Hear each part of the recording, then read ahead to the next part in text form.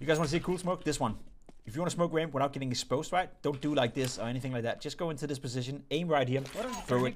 That way you are standing in a safe position where you cannot get killed and you just did a perfect smoke on ramp, alright? Thanks guys, one out A. One B dead.